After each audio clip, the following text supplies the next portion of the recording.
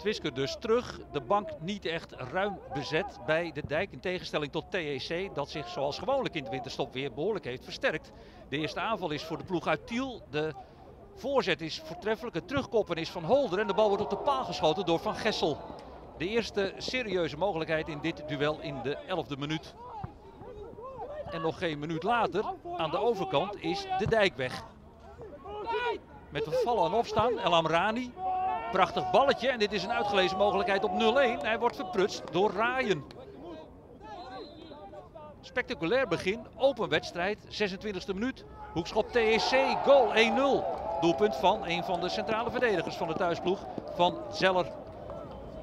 Die profiteert van een uitstekende hoekschop van Van Gessel. Pistoor, de doelman, kan er niet bij, ziet de bal over zich heen gaan. En TEC leidt. Dit gebeurt na een klein half uur voetbal. Baden gaat spijkerhard door op Van der Sman. Nachtegaal, de scheidsrechter, is er snel bij. Twisker ziet de bui hangen. En de dijk moet naar het rood voor Baten door met een man minder.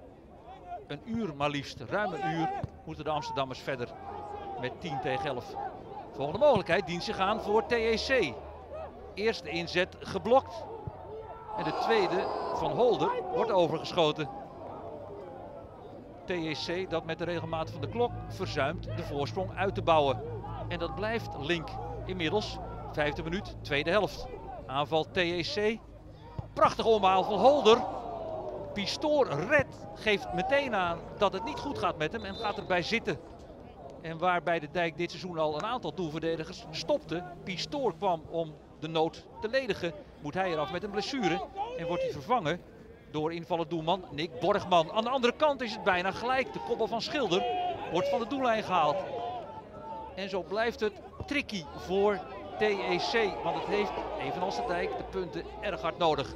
Een kwartier voor tijd. Een mooie aanval. Holder legt terug. Vink met een lichaamsschijnbeweging verschaft zichzelf wat ruimte. Maakt 2-0. En dat betekent drie punten. En een zegen voor de ploeg van Vink. Goeie goal.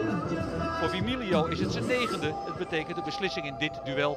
En de dijk, het zakt en het zakt en het zakt op de ranglijst.